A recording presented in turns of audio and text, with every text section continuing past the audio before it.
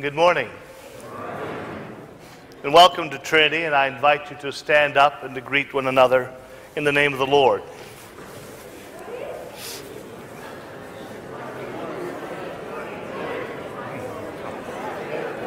Good morning to you.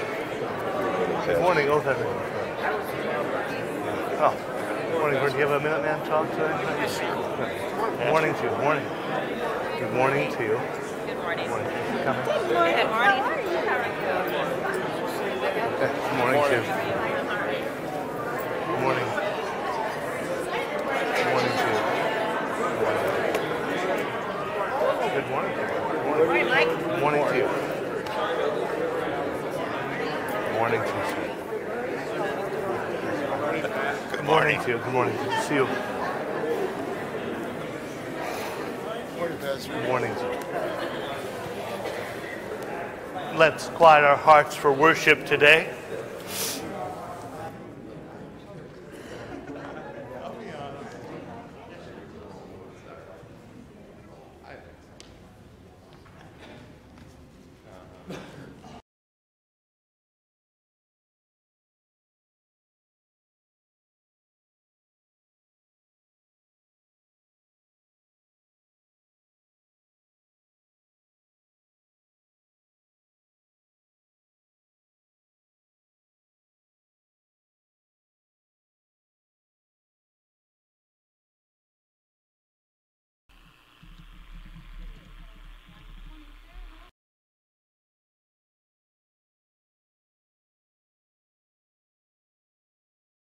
Good morning. We'll welcome, welcome you this morning and ask you to join in the worship as we believe God enjoyed us in the worship gathering.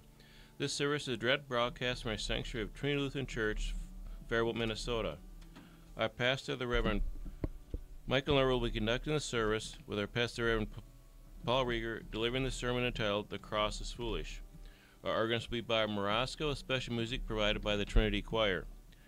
Our order of worship will be the Office of Matins on page 219 of the Lutheran Service Book. The radio broadcast of Sunday is given in loving memory of Everett Fuchs by his family. We invite you, invite you, to, invite you to join us in our opening hymn, Beneath the Cross of Jesus. This is a special hymn printed in our worship folder.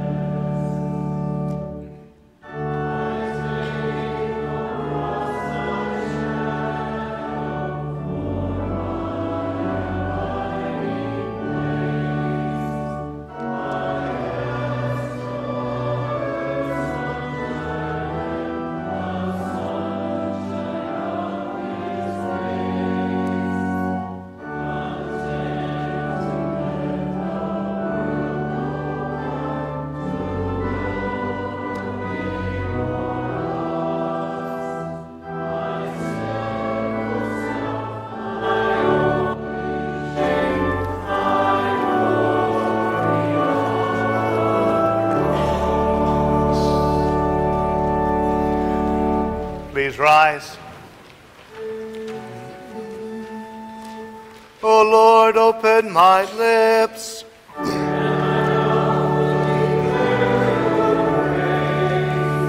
Make haste, O God, to deliver me.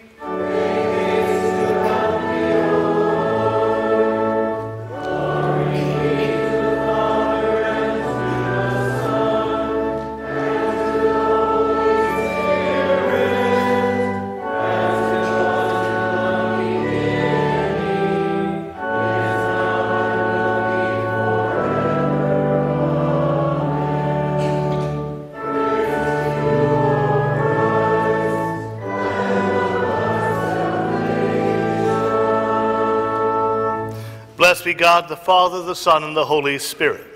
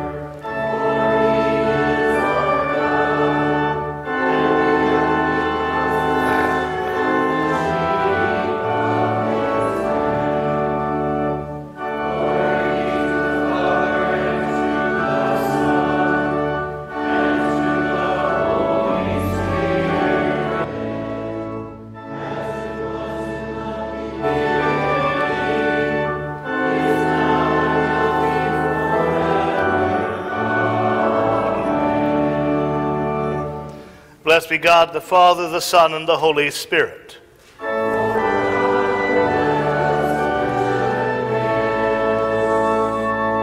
Psalm 19, spoken responsively. The heavens declare the glory of God, and the sky above proclaims his handiwork.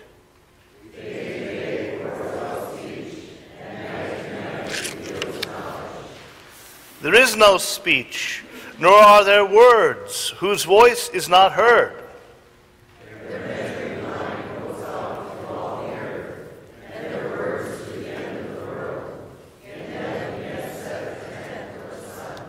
Which comes out like a bridegroom, leaving his chamber, and like a strong man runs its course with joy.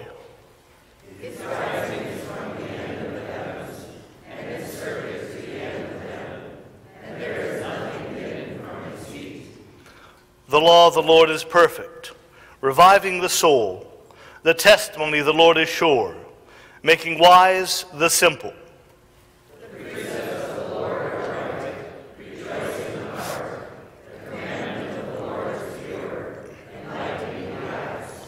The fear of the Lord is clean, enduring forever. The just decrees of the Lord are true and righteous altogether.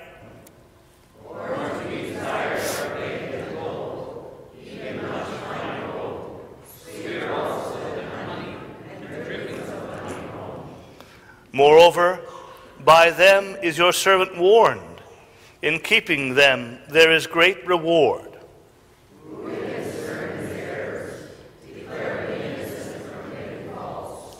Keep back your servant also from presumptuous sins. Let them not have dominion over me. Then I shall be blameless and innocent of great transgression.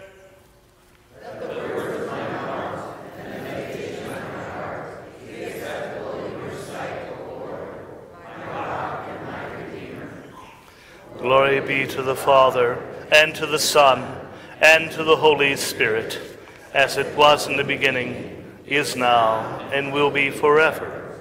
Amen. Please be seated.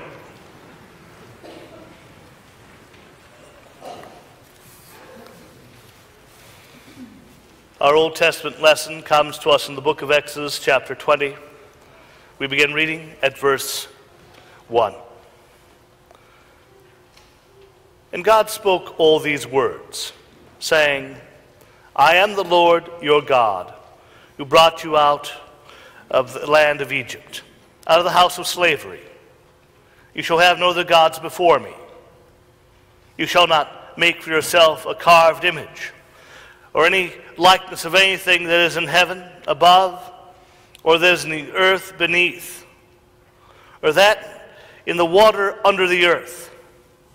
You shall not bow down to them or serve them, for I, the Lord your God, am a jealous God, visiting the iniquity of the fathers on the children to the third and fourth generation of those who hate me, but showing steadfast love to thousands of those who love me and keep my commandments. You shall not take the name of the Lord your God in vain, for the Lord will not hold him guiltless who takes his name in vain. Remember the Sabbath day to keep it holy. Six days you shall labor and do all your work, but the seventh day is a Sabbath to the Lord your God. On it you shall not do any work, you or your son or your daughter, your male servant or your female servant, or your livestock, or the sojourner who is within your gates. For in six days the Lord made heaven and earth, the sea, and all that is in them, and rested the seventh day. Therefore, the Lord blessed the Sabbath day and made it holy. Honor your father and your mother, that your days may be long in the land the Lord your God is giving you. You shall not murder. You shall not commit adultery. You shall not steal. You shall not bear false witness against your neighbor. You shall not covet your neighbor's house. You shall not covet your neighbor's wife, or his male servant, or his female servant, or his ox, or his donkey, or anything that is your neighbor's. This is the word of the Lord. Our epistle reading this day comes to us from 1 Corinthians chapter 1. We begin reading at verse 18. For the word of the cross is folly to those who are perishing, but to us who are being saved it is the power of God. For it is written, I will destroy the wisdom of the wise, and the discernment of the discerning I will thwart. Where is the one who is wise? Where is the scribe? Where is the debater of this age? Has God made foolish the wisdom of the world? For since in the wisdom of God, the world did not know God through wisdom. It pleased God through the folly of what we preach to save those who believe. For Jews demand signs, and Greeks seek wisdom. But we preach Christ crucified, a stumbling block to the Jews and folly to the Gentiles. But to those who are called, both Jews and Greeks, Christ the power of God and the wisdom of God. For the foolishness of God is wiser than men, and the weakness of God is stronger than men. For consider your calling, brothers. Not many of you were wise according to worldly standards. Not many were powerful. Not many were of noble birth. But God chose what is foolish in the world to shame the wise. God chose what is weak in the world to shame the strong. God chose what is low and despised in the world. Even things that are not, to bring to nothing things that are, so that no human being might boast in the presence of God. He is the source of your life in Christ Jesus, whom God made our wisdom in our righteousness and sanctification and redemption.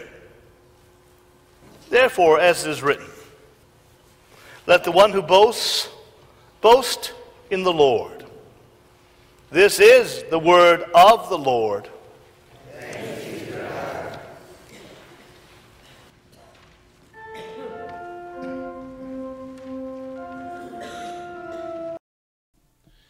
Please join us for our next hymn, Cross of Jesus, Cross of Sorrow, number 428 in the Lutheran Service Book.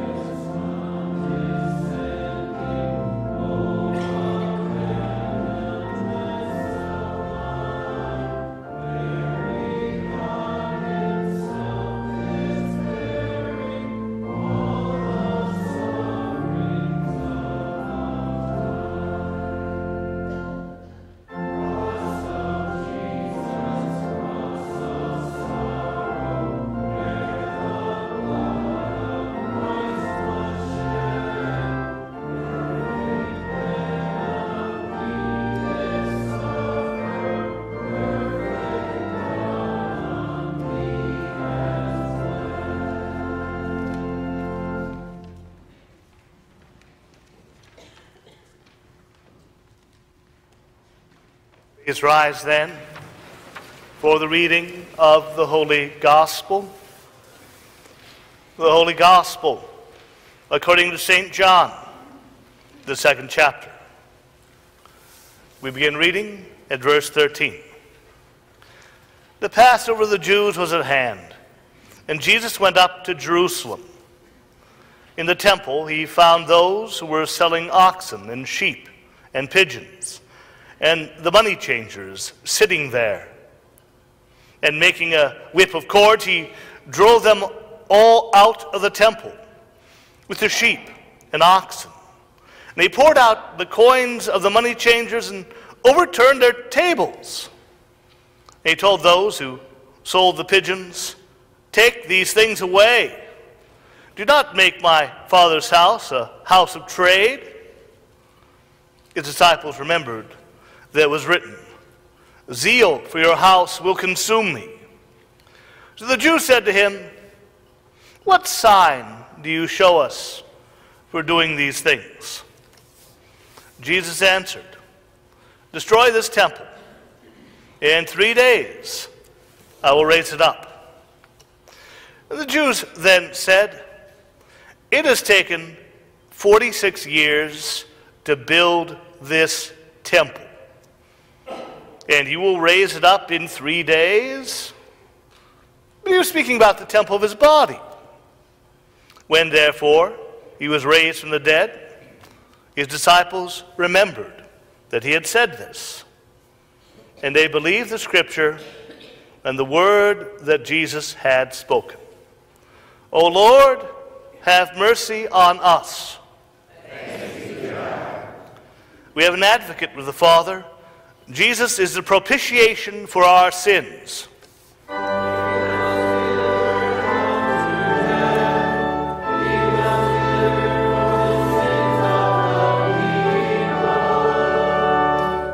Blessed is he whose transgression is forgiven and whose sin is put away.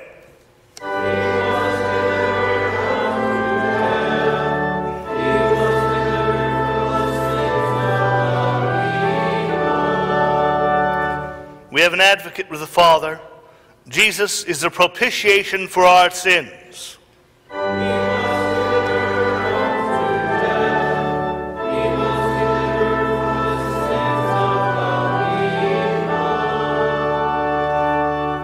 Please be seated. We invite the children to come forward now for the children's message. Please come forward.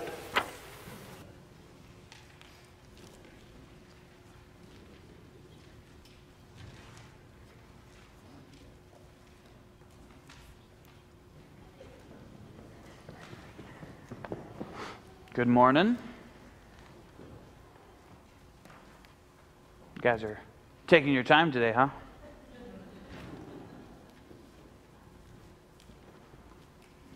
Good morning. Have a seat. All right. So, is it uh, is it a very nice thing to call someone stupid? No, it's not very nice. Would you like it if someone called you stupid? No, I wouldn't like it either. But you know, uh, so in our reading that Pastor Nerva read for us, Paul was talking about all of these people who look at us, us Christians, and think we're stupid. You know? That hurts, doesn't it? They look at what we do when we worship and when we get together, and they think that's a waste of time. And uh, it hurts. But to, uh, for us, this isn't a waste of time, right? For us, when we look at the cross, it's, it's very meaningful, right? It's very important to us. What does the cross tell us? What does the cross tell us? Who died on the cross? Go ahead. You know it? Oh, she's being shy. It's Jesus, right? You guys, you guys are really quiet today. So Jesus dies on the cross for us. And that and so we put the cross everywhere, right? You can see a cross up there, there's a cross over there, there's a cross on the pulpit, there's crosses in the stained glass, there's a cross hidden up there. I mean, they're everywhere, right? Because the cross, we look at that and we see we see a God who loves us. We see a God who will do anything to us. It's not stupid to us. It's very important to us. It's very meaningful for us. And so we live our lives telling everybody about this, this thing that they might not think is very important. And we let God work through us and tell people all about Jesus. So let's, let's pray about that, okay? Fold your hands, bow your heads, repeat after me. Dear God, thank you for giving us Jesus, who went to the cross, to, save us. Help us, Lord to share this truth with the world. In Jesus' name we pray. Amen. You may have a piece of candy in congregation. We'll continue with our next hymn, Drawn to the Cross. Please join us for our sermon hymn, Drawn to the Cross, number 560 in the Lutheran Service Book.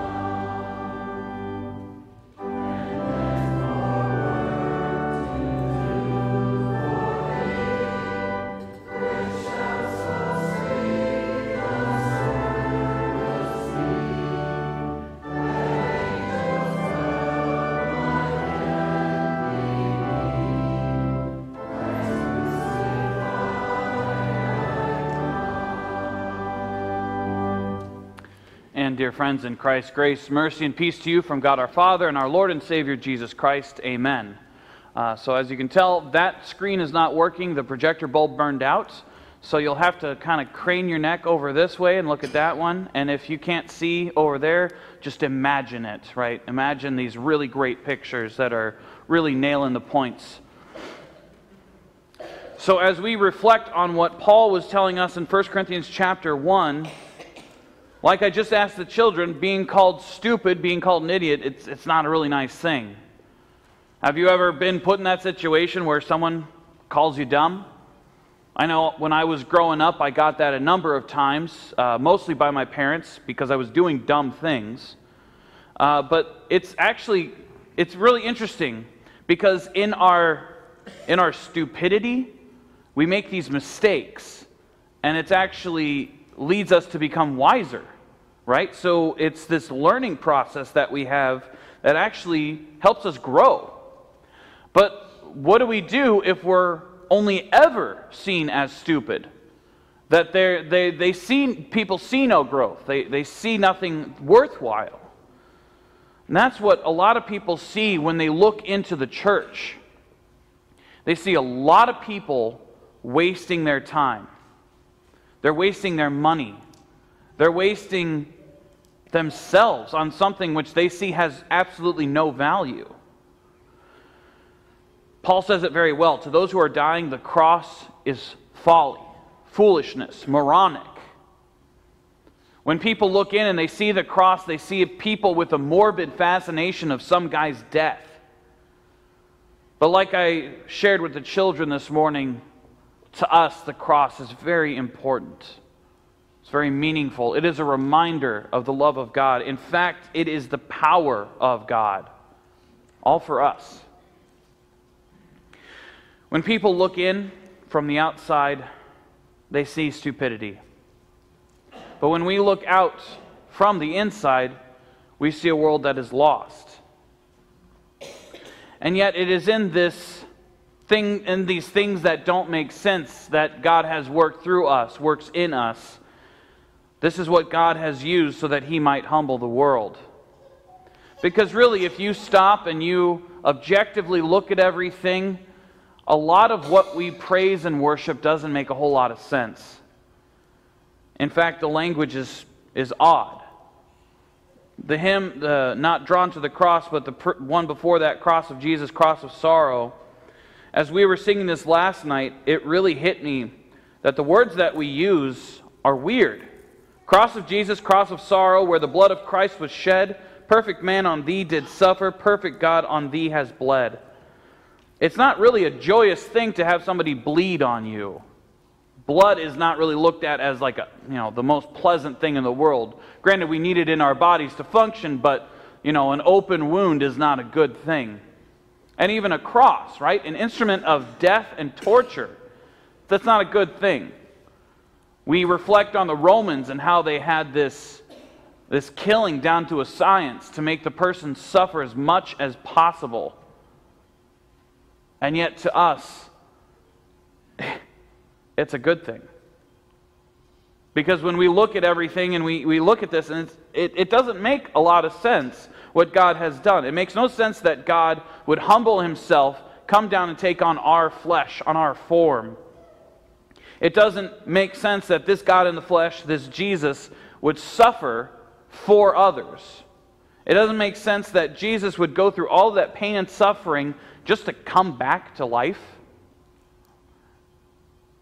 It doesn't make a whole lot of sense. But yet, when we look at these things, it is our salvation. To those who are being saved, it is truly the power of God, all for us, for all of us. In our world, when you have something valuable, you don't give it away for free. That's just not how we function. Why do that when you can make a profit from it? And you know, this is one of the reasons that Jesus gets so angry in the temple today when he starts flipping tables is because they're profiting off of the gifts of God. They're trying to turn that into a business. This is not what God wants. What God wants is the gifts to be offered freely because that's what He does. You know, and I, I do have a salary. That's, that's how I make my living here at this church. But can you imagine that if on top of that, I charged you for everything? If Pastor Nerva and I are sitting at those two doors, making sure that we're getting the cover charge of five bucks from each one of you to come into this church. If you want forgiveness and absolution, that'll cost you 250. You want to come to the altar and receive the body and blood of the Lord? That's expensive. That's going to run you 20 bucks. I mean, can you imagine? I would hope that some of you would start flipping tables if we started doing things like that. Because the reality is, is that the gifts of God are free. They are meant to be free. They are meant to be just given away as much as possible. Something so valuable as eternal life is given away free of charge. Because that's what God wants. No down payment, no bills, no deposit. You don't even have to work for it. It's just given to you. Jesus suffered and died on the cross. He rose from the grave and gives this free and wonderful gift to all people, not earned through our toil, but through the toil of Christ. And really, it just doesn't make sense to our world. It doesn't make sense to our sinful ears. What makes sense to us is dumping money into things to solve problems. But what I want you to see is that God loves you so dearly that not only has He given you His most precious Son, but He has also given you the most precious gift of eternal life. And while that doesn't make sense to the world, it is so wonderful to us. It is good news to us. That life. And that life is what we really need to focus on in our foolishness and folly in the cross, we really need to focus on life. Now, I've shared with a number of you, and some of you might have noticed I wasn't here last week because I was down in Phoenix. It wasn't a vacation, although the sun was out, which, in case you've missed it for a while, the sun is still out there. Don't worry, there's still some heat in that thing, too. Uh, so while I was down there, I was attending this conference, uh, and the focus that I brought with me was to seek out a mission for our church, something to encourage all of us to really get excited about this foolish cross. Because honestly, I'm a little bit worried that we as a church, myself included, are a bit lazy. That we're not doing what we should be doing, that we simply just have this wonderful gift of salvation, but we don't give it away. We just keep it for ourselves. And so I wanted to find some way to not only excite myself, but to excite all of us to share this gift, because that's what we're called to do to, to share that foolishness, to share that joy. One of the presenters was this gentleman, David Kim, um, who really hit me hard with something. And he said, Where is our urgency? People outside are dying. They are at risk of eternal damnation and hell? Where is our urgency to give them the gospel? To give them eternity of salvation with God? Where is our urgency? Not really hit me like a hit me like a truck. Because where is our urgency? So let's be honest with one another. By a show of hands, I want you to raise your hand if you had a chance to share the gospel with someone, someone you knew could use it, but you didn't. And I'm raising my hand right now because I myself haven't done it. Now keep your hands up. Look around. You're not alone. Now you can put your hands down. One more question. Raise your hand if you know someone or even somewhere where you could go and give the gospel that it would have an effect on someone. Raise your hand. There's someone you can go to, there's some place you can go to to share the gospel. Look around. Right? You know the thing is is I could I could go to the bar after church, sit and have a beer and talk with people and share the gospel. I could do that today. And I know that it would have a powerful effect because I know that I've done that before. And I know that God has called all of us to certain places. But, as we showed each other, as we were all honest with each other, we have failed. And that's the simple and sad truth is that we failed. And that's heartbreaking. I would wager that many of us have failed in those situations to present the gospel to someone because we don't feel adequate to do it. We're, we're nervous, we're anxious, you know, uh, we just feel like, well, I don't want to do this and maybe burn a bridge with that person. We don't think we're good enough. We don't think that we're equipped to preach. But that reminds me of hymn 826 Hark the voice of Jesus crying. Verse 2 If you cannot speak like angels, if you cannot preach like Paul, you can tell the love of Jesus. You can say he died for all. If you cannot rouse the wicked with judgment's dread alarms, you can lead the little children to the Savior's waiting arms. There's all these opportunities. I can't preach like Paul. I certainly don't have a voice like an angel, but I can tell people about the love of God shown to us in Jesus. We might not be able to go and, and show people the sin, their sinful ways. We not, might not be able to encourage them to change, but we can share the love of God with kids. We can get them started at a young age knowing who their God is and how much He loves them. I want to also direct you to verse 26 of our reading. Not many of you were wise according to worldly standards, not many were powerful, not many were of noble birth, but God chose what is foolish to shame the wise. God chose what is weak in the world to shame the strong. You're chosen. God chose you. God saw you in the pit of sin and pulled you out. God chose you to be worthy of his Son, Jesus Christ. That nothing that you did could ever make you worthy, but he looked at you and said, This person deserves it. And not only that, he chooses you now to go out and proclaim this message of joy and peace to the world. One thing that that David Kim guy said as well is that God is calling each and every single one of us to a mission, and He has already equipped us for what He is calling us to do. You're already prepared, you're already adequate. And so, in these feelings of inadequacy, you know, don't beat yourself up. Well, Pastor Rieger said I'm adequate, but I, I just don't feel like it. Those are the times when you go to your God in your prayer and you say, Help. God, help me. Many of you probably see Pastor Nerva and I that we pray before we preach. And while I don't know Pastor Nerva's prayer, my prayer is always God, let me be good enough. Let me bring your word to your people. Very honestly, I, I literally say, God, don't let me suck. I want to be good. Because that's the truth. That's what I want. I want to be adequate in my bringing of the gospel, and I don't feel adequate.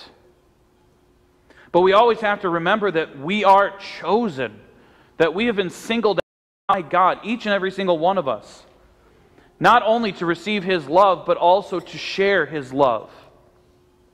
So then let's think practically. How do we do it?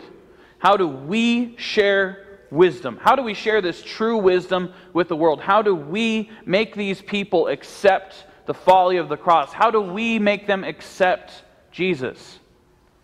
And I hope your, your ears are picking up the wrong things I'm saying. We don't do it. We don't make them change. We don't make them accept. What is our job? To preach the folly of the cross. It is the power of God which changes people's hearts. If you go back to the book of Acts, and I would encourage you in devotions to, to skip your daily devotions and just instead read Acts for the next week. And look at how they function as the church. These apostles, these followers of Jesus, aren't really special people. They're chosen like you and me. They're chosen to serve like you and I are. These are weak people, lost and confused. These are people who are fishers, they're beggars, they're craftsmen, they're mothers and fathers, they're farmers, they're, they're simple folk. They're not people with with these doctorates in theology. They're not these people who have these, these wonderful gifts of money who are able to do amazing things. They're just people like you and I are. people you might not consider equipped. You might not consider them to be wise. They might be clever, but you don't really consider them wise. And what do they do? They only proclaim Christ crucified. You look at the wonderful sermons that Peter gives in the book of Acts, and all he says the entire time is Jesus was crucified, but he is risen. And he is there as Lord, sitting at the right hand of God, ready and there for you. What made them adequate? God did. That's what we celebrate at Pentecost, right? The Holy Spirit, God the Holy Spirit, comes to these people and works through them to save about 3,000 souls. And the struggle that we have now today is that we've lost this urgency that the apostles had. You read through Acts and you see every step of the way they are trying to find a way to tell people about this God who loves, this God who gives. And we have lost that urgency, but we can get it back very easily. Lent is the perfect time for it, too. You've got less than half a month to start talking to people about the risen Lord. Use this time to really reflect on this foolish cross and think, what can I do? You might not think that you're good enough, but you can pray to God to help you understand how He works through you. You need to also understand that the mission field is not Papua New Guinea, it's not Africa, it's not China, not for us. Our mission field is Faribault. For some of us, it's Morristown. For some of us, Northfield. It's where God has placed us because we're not called to be foreign missionaries. If we were called to be foreign missionaries, we'd be doing that. But you are called right here, right now, in this town, in this community, to start sharing the love of God. That's your mission. And not only that, your own family is your mission. How are you, as mom and dad, raising your kids? How are you, as grandparents, making sure that your family knows about the gifts of God? And you kids out there, how are you sharing the love of God with your family? This is your mission field right here.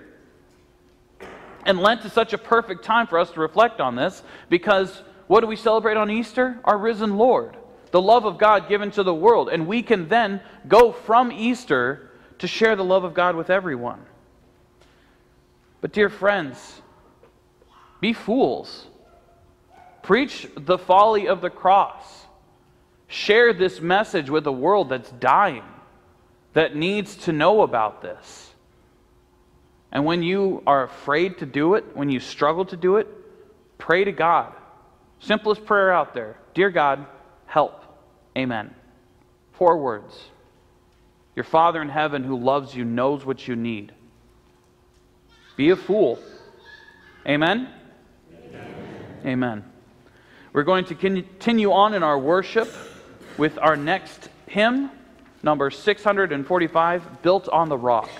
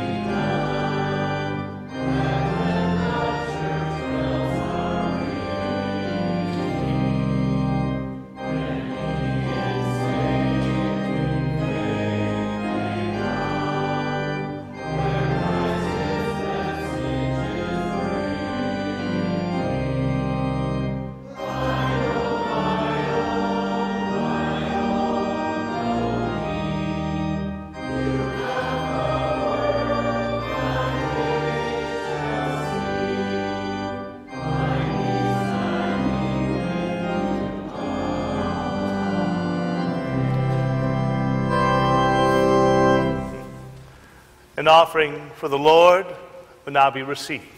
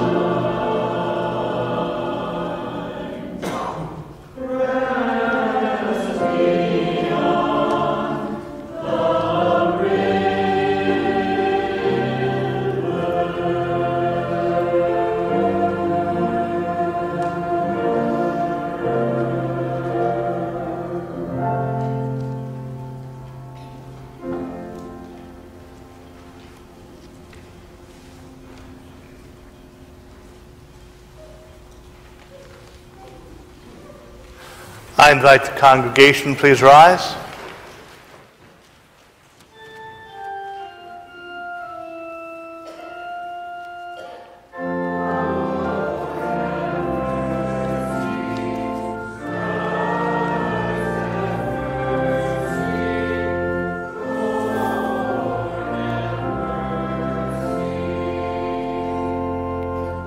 And Lord, remember us in your kingdom and teach us always to pray.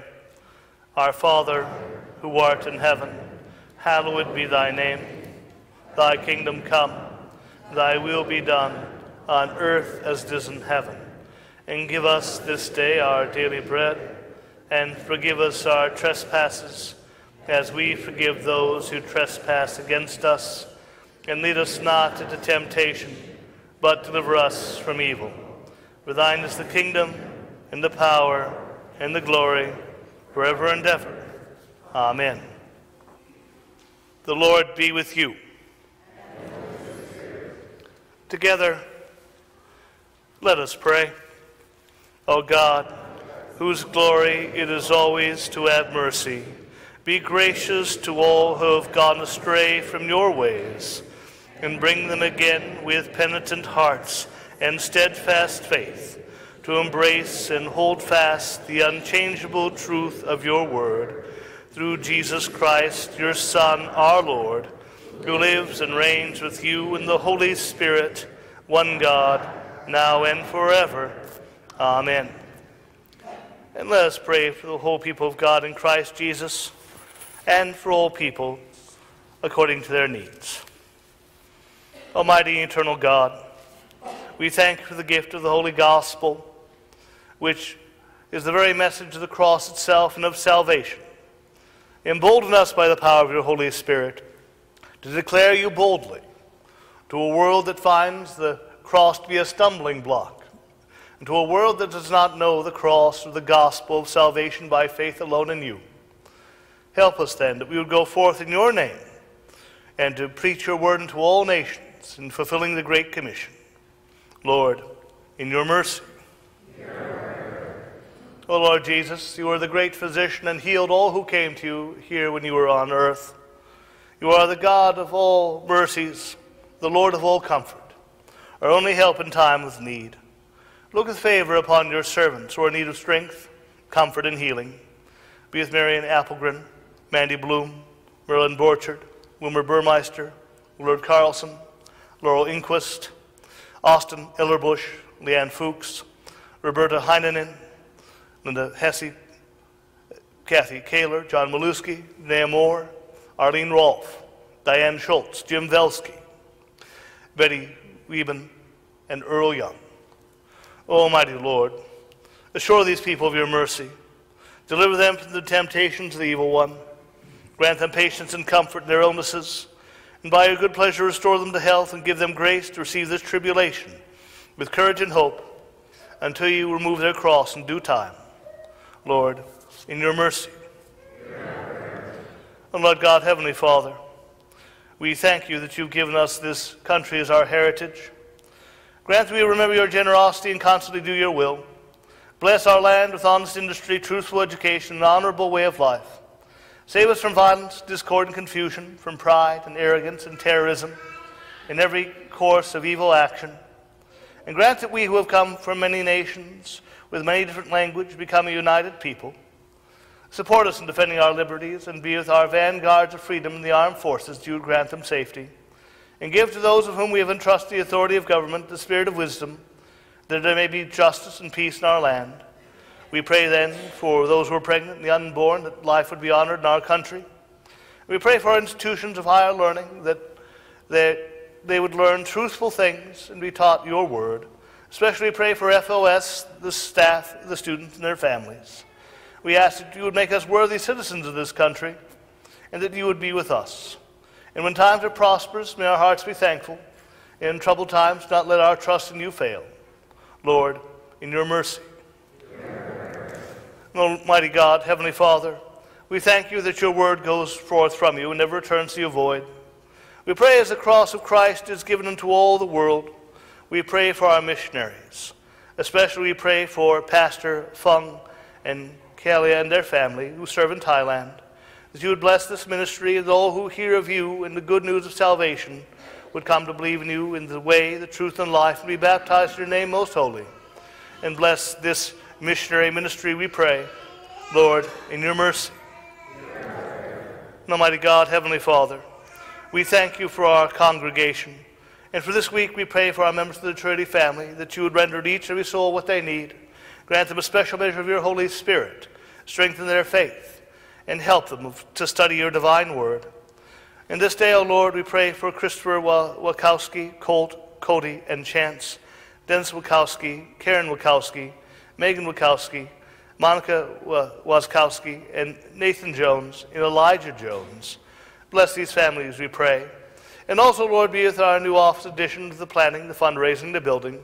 That again, this building, this edifice would be raised for the furtherance of your kingdom and for the glory of your divine name. And Lord, grant us your protection in our congregation and keep us safe, we pray. And bless us, we pray, this and all things. In Jesus' name. Lord, in your mercy. For, O Lord, our Heavenly Father, Almighty and everlasting God, you have safely brought us to the beginning of this day. Defend us in the same with your mighty power, and grant that this day we fall into no sin, neither run into any kind of danger, but in all our doings, being ordered by your governance, may be righteous in your sight. Through Jesus Christ, your Son, our Lord, who lives and reigns with you in the Holy Spirit, one God, now and forever.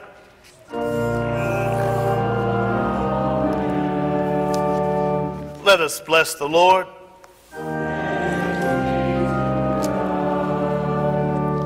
The grace of our Lord Jesus Christ and the love of God and the communion of the Holy Spirit be with you all.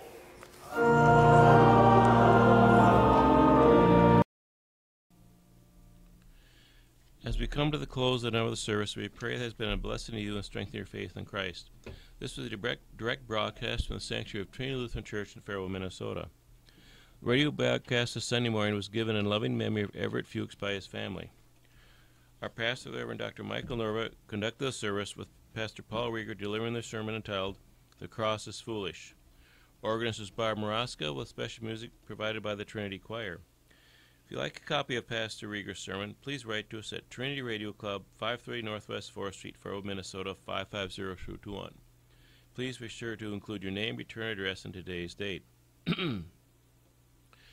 you can also visit us on the web at www.trinityradioandvideo.org where you can view past services, order copies of past services, and see calendar events at Trinity Lutheran Church. We invite you to join us this Wednesday evening at 5:30 p.m. on KDHL for a special midweek Lenten service broadcast. Returning now to the downtown studios of KDHL.